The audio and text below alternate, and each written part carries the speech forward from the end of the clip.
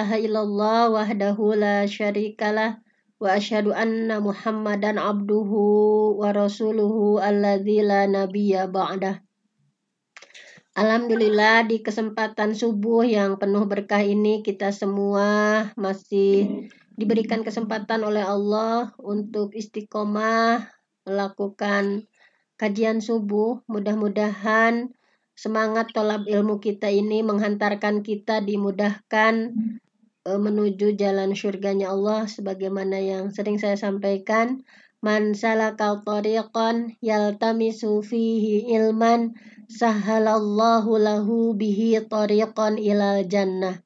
Man salaka tariqan barang siapa yang menempuh jalan yaltamisu fihi ilman menempuh jalan untuk mencari ilmu sahalallah pasti Allah memudahkan lahu bagi orang tersebut bihi dengan mencari ilmu tariqan ilal jannah jalan ke surganya Allah mudah-mudahan uh, ikhtiar yang kita lakukan ini sebagai wasilah untuk dimudahkan berbagai urusan diberikan kesehatan dan keberkahan serta bimbingan dari Allah serta ridho dan uh, inayahnya. Nah, selanjutnya Selanjutnya, mari uh, kita kajian tafsir untuk hari ini uh, ayat 16 ya, ayat 16 baik di sini sudah ada uh, tafsir Quran surah Al-Baqarah ayat 16. Saya akan bacakan terlebih dahulu. أعوذ بالله من الشيطان الرجيم. أولئك الذين اشتروا الضلالة بالهدى. اشتروا الضلالة بالهدى فما ربحت تجارتهم وما كانوا muhtadin Ulaika mereka itulah alladzina orang-orang yang ishtarau ishtarau mereka yang membeli mereka orang-orang yang membeli Al-dalalata kesesatan bil huda dengan petunjuk. Fama rabihat maka tidaklah beruntung tijaratuhum perdagangan mereka wa makanu muhtadin dan mereka tidak mendapat petunjuk. Nah, jadi dalam uh, surah Al-Baqarah ayat 16 ini Allah masih e, menerangkan ya kan sebelumnya ada tiga golongan manusia dalam Al-Quran itu dua ayat e, empat ayat e, Allah menjelaskan tentang mutakin ciri-ciri orang yang mutakin ya orang-orang yang beriman. Kemudian Allah menjelaskan dua ayat tentang bagaimana orang-orang kafir. Nah dan ini orang-orang munafik tidak cukup hanya dengan dua ayat tetapi sejak dari ayat eh, berapa ya waktu itu 8 ya sampai ini udah 16 masih eh, menjelaskan tentang keadaan orang munafik. Jadi sangat panjang untuk menjelaskan eh, bagaimana karakteristik orang munafik. Kalau orang kafir kan cukup dua ayat karena memang udah jelas mereka itu kufur menolak jelas memusuhi Islam, tetapi kalau orang munafik karena seperti mereka eh, kawannya orang Islam, seperti mereka eh, sahabatnya orang Islam, padahal tidak seperti itu, maka dengan panjang lebar Allah jelaskan di ayat 16 ini masih menjelaskan tentang keadaan orang-orang munafik yang seperti ini ya. Mari kita lihat dari tafsir Jalalainnya. Ulaika mereka itulah alladzina. Itu orang-orang munafik itu orang-orang yang ishtarawud dalalata yang membeli kesesatan bil huda dengan petunjuk. Ai artinya maksudnya apa? Maksud dari membeli kesesatan dengan petunjuk apa? Menurut tafsir Jalalain itu istabadaluha. Nah, istabadaluha e, mereka mengganti ya mengganti uh, mengganti uh, bihi. Nah mengganti apa? Yaitu mengganti uh, kesesatan dengan petunjuk. Menggantikannya dengan uh, kesesatan. Nah bihi nah dengan petunjuk itu. Fama robihat. Maka kata Allah dengan jelas e, tidak akan beruntung gitu ya tijaratuhum perniagaan mereka atau perdagangan mereka nggak beruntung. Ay yaitu marobihu. Mereka tidak beruntung fiha. Dengan melakukan itu ya. Tadi membeli kesesatan dengan petunjuk itu. Bal khosiru bahkan mereka itu nanti rugi gitu. Bahkan sebaliknya mereka akan khosiru rugi. Lima sirihim. Karena uh, mereka it, membawa dengan dengan berperilaku seperti itu membawa mereka masir masir itu tempat kembalinya mereka itu ilanar.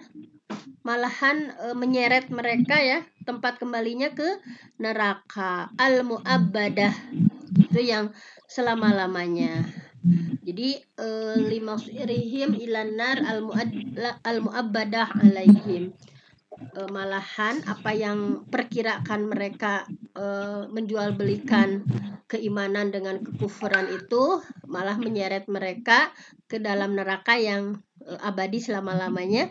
Wa makanu muhtadin uh, oleh karena itu mereka tidak mendapat petunjuk fima fa'alu disebabkan uh, atas apa yang mereka perbuat nah seperti itu Kemudian kita lihat uh, tafsir yang lainnya ya. Maksud dari ulaikal ladzina ishtarawud dhalalata bil huda fama rabihat tijaratuhum wa ma kanu muhtadin. Itu maksudnya apa? Nah, ini maksudnya adalah kalau dilihat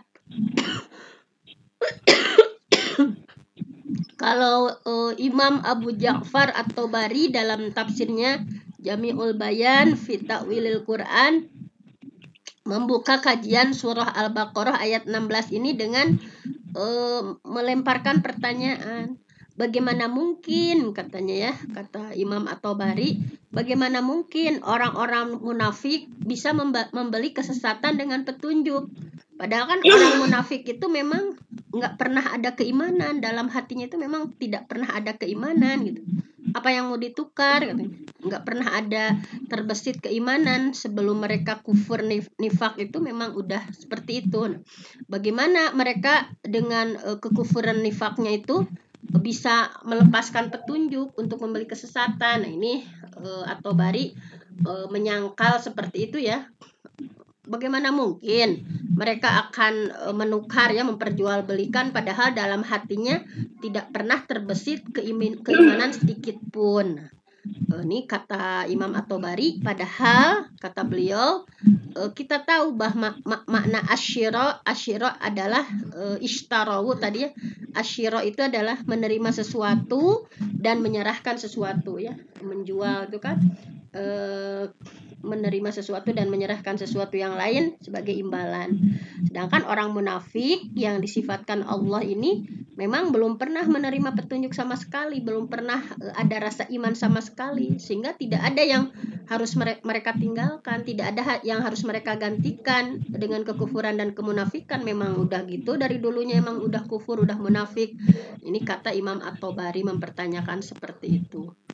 Jadi uh, intinya ulama tafsir berbeda pendapat mengenai makna surah Al-Baqarah ayat 16 ini uh, semuanya ya menyebutkan uh, apa pandangannya. Kalau Ibnu Abbas maksud dari uh, ishtarawud bil huda itu mengartikan uh, al huda petunjuk dalam ayat ini adalah keimanan kalau uh, Abdullah uh, menurut uh, Ibnu Abbas itu adalah kekufuran. Nah, kemudian Ibnu Abbas, Ibnu Mas'ud dan sejumlah sahabat Nabi menyebutkan bahwa orang munafik memang mereka lebih cenderung gitu ya, lebih cenderung memegang pada kesesatan dan e, meninggalkan e, petunjuk gitu meninggalkan petunjuk gitu. Jadi memang me mereka uh, apa diberi peringatan apa pun di uh, oleh nabi diberikan uh, nasihat apa pun memang uh, mereka udah udah megangnya itu udah pada abdullah lah kesesatan gitu. Tidak ngeh lagi atau tidak mau lagi uh, kepada uh, hidayah gitu ya. Sementara Imam Qatadah menyebutkan bahwa memang mereka itu lebih suka pada kesesatan daripada petunjuk. Kemudian Imam Mujahid memahami uh, maksud dari Al-Baqarah ayat 16 ini adalah orang-orang munafik itu uh, memang ini kata Mujahid ya. Mujahid berbeda dengan yang lain kalau kata Mujahid mah, cina ayat 16 ini adalah orang-orang munafik itu e, memang beriman gitu, asalnya beriman, kemudian beralih pada kekufuran gitu. Tetapi ya e, menurut Ator Bari bahwa e, ini pada ditentang ya pendapat Mujahid karena e, menurut At-Tabari bahwa ulama yang menafsirkan ayat ini dengan e, memegang kesesatan dan meninggalkan petunjuk bahwa e, memahami asyiro di sini menjadikan produk yang dibeli di tempat harga produk sebagai alat tukar. Nah, demikian juga katanya orang kafir Quraisy, orang e, munafik Madinah e, di mana mereka itu mengisi tempat yang seharusnya ya tempat keimanan malah diisi dengan kekufuran. Keimanan dan petunjuk e, mereka jual untuk mendapatkan kekufuran dan kesesatan yang mereka pegang. Petunjuk yang mereka lepas adalah harga atas kesesatan yang mereka pegang. Intinya e, menjual kalau bahasa sekarang itu intinya e, menggadaikan akidah ya untuk uh, ke kesenangan sesaat, kesenangan dunia sesaat. Nah, nah di sini atau Bari uh, menjelaskan penafsiran ulama uh, tadi ya uh, dengan ayat ini dengan mereka lebih suka pada kesesatan. Namun eh, pendapat ini tidak diterima karena eh, memang udah disangkal, memang mereka itu memang belum pernah beriman sebelumnya gitu. Menurut Atobari bahwa eh, menurut Atobari ini ya tafsir yang lebih bisa diterima itu adalah tadi yang pendapat Ibnu Abbas dan Ibnu Mas'ud kan menurut Ibnu Mas uh, Ibnu Abbas dan Ibnu Mas'ud intinya bahwa uh, orang munafik Madinah ya mereka lebih memegang kesesatan dan meninggalkan petunjuk uh, karena uh, setiap orang kafir uh, kepada Allah adalah orang yang memang mereka sudah menggantikan keimanan dengan kekufuran dengan mengupayakan kekufuran yang ada sebagai pengganti keimanan yang diperintah Allah. Nah, itu jadi intinya seperti itu eh, pendapat dari para mufasir ya tentang eh, apa yang dimaksud dengan ishtarawud dolalata bil huda gitu ya bahwa orang eh, munafik itu tadi eh, menjual dolalah bil huda menjual kesesatan dan eh, lebih Eh, senangnya lebih senang pada kesesatan dari dan meninggalkan keimanan. Nah, eh, langsung saja ya supaya supaya tidak berbelit-belit langsung di sini tafsir Ibnu Katsir. Coba kita lihat dari tafsir Ibnu Katsirnya. Kalau dalam tafsir Ibnu Katsirnya eh, di sini juga sama gitu ya. Ibnu Katsir menyimpulkan bahwa orang-orang munafik itu memang mereka lebih memilih kesesatan daripada petunjuk. Nah ini eh, di sini dalilnya gitu ya eh, menyebutkan bahwa orang munafik itu lebih memilih eh, kesesatan daripada petunjuk, lebih memilih kekufuran daripada keimanan. Uh, tapi kalau tadi ya menurut Mujahid bahwa pada mulanya mereka beriman kemudian kafir, Nah, ini tidak diterima e, kalau Kotadah menyebutkan bahwa intinya orang munafik itu lebih menyukai kesesatan daripada hidayah karena memang e, sama seperti yang terjadi pada surah surat Fusilat ya kaum Samud gitu. Kaum Samud menyebutkan bahwa wa amma Samud e, ini dalam surah Fusilat kan ciri ciri khas Ibnu Katsir itu menafsirkan ayat dengan ayat yang lain. Bahwa uh, apa yang mereka lebih menyukai kesesatan daripada hidayah uh, digambarkan dalam Quran surah Fusilat ayat 17 wa amma samud adapun kaum samud uh, fahadainahum kami telah beri petunjuk pada kaum samud fastahabbu tetapi mereka lebih menyukai uh, al-ama alal huda. Mereka lebih menyukai e, buta gitu sesuatu yang buta atau kesesatan alal huda daripada petunjuk. Nah seperti itu. Ini dalam surah Fusilat jadi kesimpulannya dari pendapat semua ahli tafsir itu e, bahwa orang munafik itu menyimpang dari jalan petunjuk dan mereka malah menempuh jalan kesesatan. Mereka menukar hidayah ya, hidayah dari Allah dengan kesesatan. Ini yang dimaksud dari firman Allah, "Ulaikal ladzina ishtaraw dhalalata bil huda." Nah, ini seperti itu. Nah, kemudian eh, dengan kata lain, mereka melepaskan hidayah malah diganti dengan kesesatan dalam hal ini sama saja. Apakah e, orang tersebut tadinya beriman e, kemudian kafir sama saja ya seperti dalam surah Al-Munafikun di sini di ayat 3 disampaikan bahwa e, fihim yang demikian itu gitu ya kenapa sih mereka malah lebih menyukai e, mengikuti jalan dolalah kesesatan daripada huda petunjuk? E, fi madalik yang demikian itu bi annahum amanu Eh, karena mereka itu sesungguhnya pernah beriman. Summa kafaru tetapi mereka kafir lagi. Fatubi ala kulubihim lalu uh, Allah mengunci mengunci mati hati mereka. Nah ini seperti itu. Jadi Allah mengunci mati hati mereka. Jadi uh, dari kalangan mereka lebih menyukai kesesatan daripada hidayah gitu ya. Sebagaimana yang dilakukan oleh sebagian orang-orang munafik dan memang mereka itu e, seperti itu gitu ya. Nah, makanya di ayat selanjutnya fama robihat tijaratuhum wa muhtadin. Mereka itu tidak akan beruntung, perniagaan mereka tidak akan beruntung, mereka tidak dapat petunjuk. Perniagaan mereka yang demikian itu ya e, tidak membawa keuntungan, tidak tidak e, tidaklah mereka mendapat petunjuk, tidak memperoleh bimbingan atas apa yang mereka perbuat. Nah, ini Ibnu Jarir menyebutkan bahwa uh, sehubungan dengan firman Allah ini ya fama robihat tijaratuhum makan tadin ini uh, ini menurut Ibnu Jarir menyebutkan bahwa demi Allah gitu demi Allah kalian sudah uh, telah melihat keluar dari hidayah menuju kesesatan. Uh, padahal Allah udah ngasih hidayah dulu ya tetapi malah mereka lebih menyukai kesesatan. Allah sudah mempersatukan gitu ya mempersatukan Aus Hozroj ya Muhajirin Ansor itu sudah bersatu, tetapi mereka sendiri yang membuat perpecahan. Gitu. Allah sudah memberikan e, kenikmatan rasa aman, gitu ya. Mereka itu pertamanya e, kan masuk Islam memberikan rasa aman, tetapi karena ulah mereka jadi rasa takut. Gitu. Allah sudah memberikan nikmat mereka berupa sunnah, tetapi mereka malah membuat bid'ah. Nah, seperti itu. Jadi, itulah e, yang dilakukan oleh orang-orang munafik. Makanya kita senantiasa berlindung pada Allah uh, minan nifak gitu ya. Allahumma ini a'udzubika ya Allah, uh, aku berlindung pada Allah dari nifak gitu, dari sifat kemunafikan yang mana sangat rugi gitu ya. Allah udah ngasih hidayah malah mencari jalan sesat. Allah sudah mempersatukan gitu ya, udah dengan nikmat persatuan itu faasbahtum bi, bi ni'matihi ikhwana mereka yang malah memecah belah ke orang kafir bilang gini, ke orang mukmin bilang gini sehingga ada peperangan mereka terus menghembus-hembuskan fitnah. Dari mereka tadinya rasa aman karena ulah mereka seperti itu, jadi mereka ketakutan sendiri.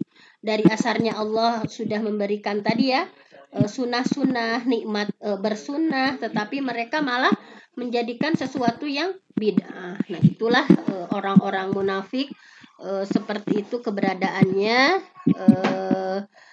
Terakhir ya kita lihat dalam Al Baidawi dalam kitab walaupun hampir sama tetapi ya mungkin uh, mudah-mudahan entah entah tafsir siapa yang uh, masuk dalam hati kita ya. Nggak apa-apa diulang-ulang hampir sama.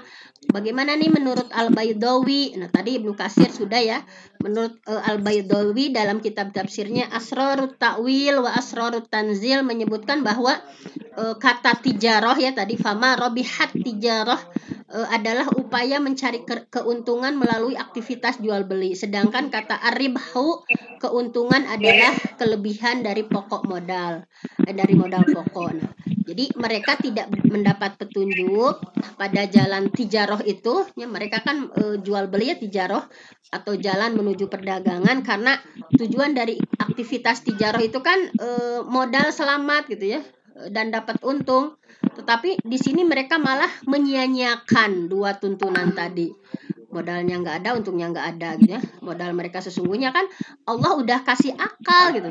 Kenapa sih orang munafik ber, ber, berbuat seperti itu? Modal mereka itu kan udah dikasih akal yang sehat, uh, fitrah salimah ya, fitrah pada akidah yang salimah gitu. Uh, maka uh, di sini menurut Al Baidawi sungguh aneh gitu ya apa yang terjadi pada orang munafik bahwa tijarah yang mereka kan yang namanya dagang itu biasanya tujuan dagang itu adalah modal selamat, kemudian mendapat untung.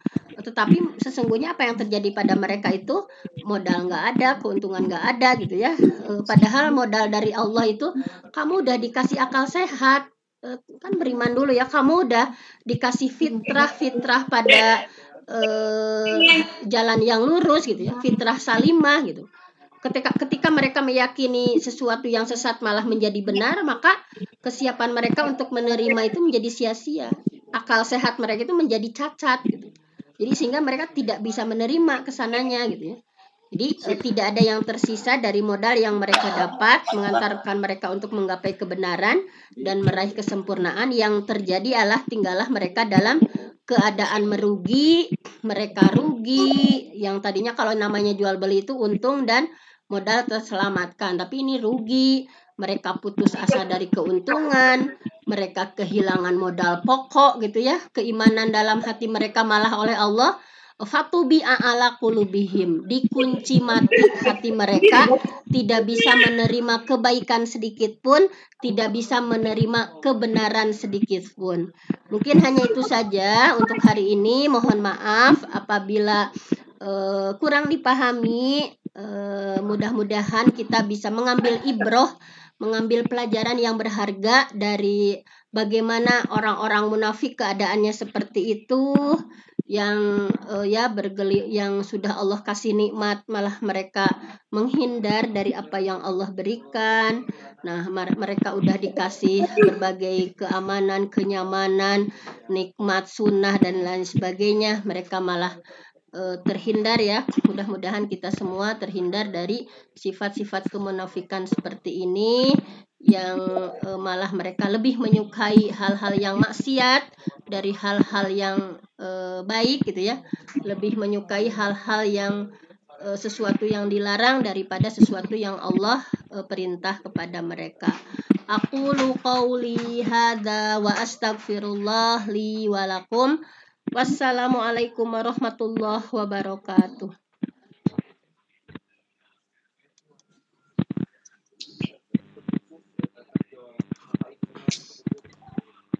Waalaikumsalam warahmatullahi wabarakatuh.